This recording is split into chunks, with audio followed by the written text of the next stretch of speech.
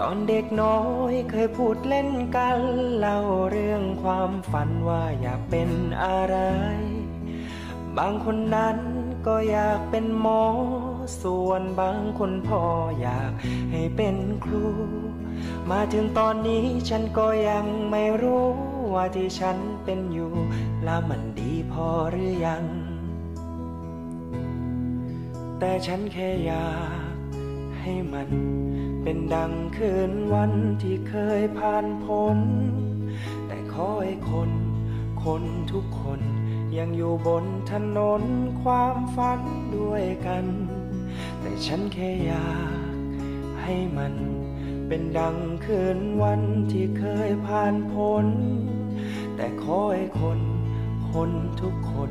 ยังอยู่บนถนนความฝันด้วยกัน